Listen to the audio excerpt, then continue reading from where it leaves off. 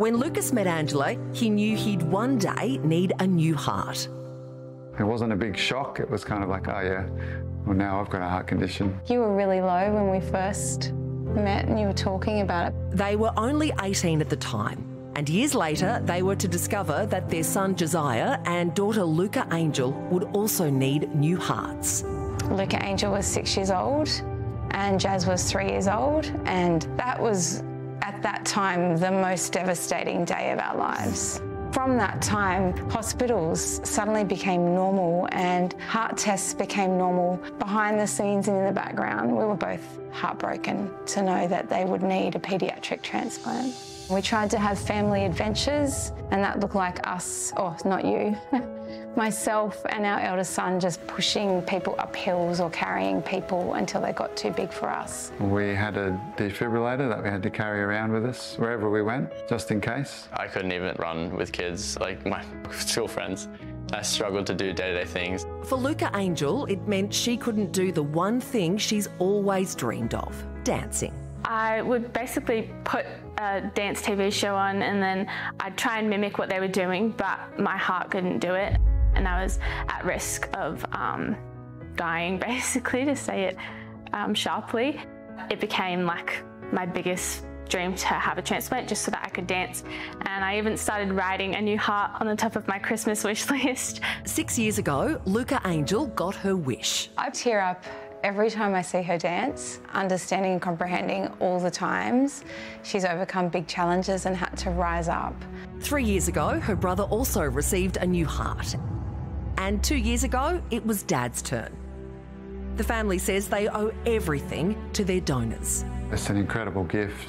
There'll be three of us rather than the six of us and we know that they were outward looking and thinking of someone else at their darkest hour in their time of grief. I'm so grateful now that Dad got his new heart as well because he can do things with us that he's never been able to do before, like bike riding and even little things like picking mum up just for fun. Last week, the Cairns family took part in the World Transplant Games in Perth, joining thousands of others from across the globe. And the whole purpose of the World Transplant Games is to cast a spotlight on the living proof of donation and transplantation to show that people who once had end stage organ failure are now able to resume normal life. I'm certainly not going in there with a competitive spirit, you know, wanting a gold medal. It's, for me, it's more about the community, celebrating the achievement of simply being there.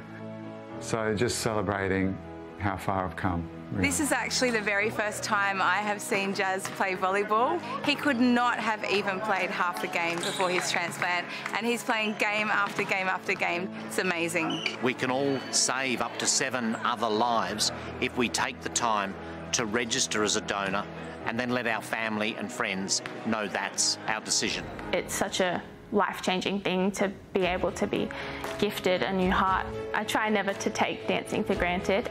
Luca Angel was overjoyed when chosen to dance in the game's closing ceremony. I'll probably be quite emotional because dance is a way that I connect with my donor because that's part of the gift that I was given. So I just hope that every day I can make my donor proud.